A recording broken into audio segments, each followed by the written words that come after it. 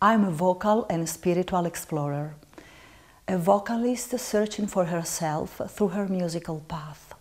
Layer by layer, you go deeper and deeper, reaching the divine essence that every human being has.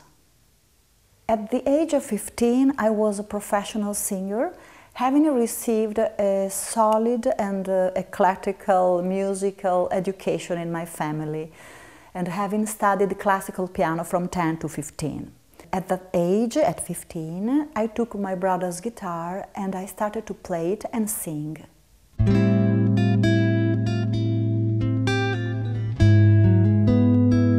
I sang a lot of music, various types of varying techniques, preferring the search for sound.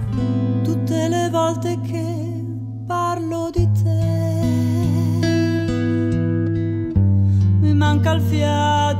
non so cos'è. Jazz fitted very well with my spiritual search because in jazz you have to play and sing at the moment, in the here and now, listening to the interplay that's happening with the other musicians. Alone, if you should need me, back to your arms, our song will lead me. I lived in New York for a while, recording a CD there with American jazz musicians.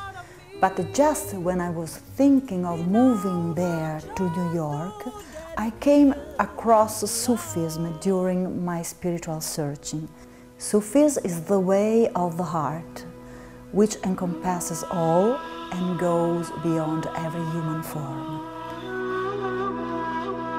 I felt that my innermost self was pushing me towards this new way of the heart and moving me away from jazz and from that beautiful city that is the Big Apple.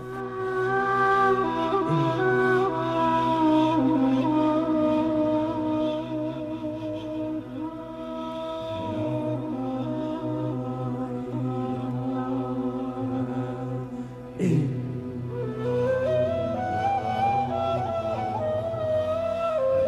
There in Turkey, a mystic Sufi gave me this name, Perihan, that means uh, Queen of the Fairies. And I was welcomed into a Sufi center.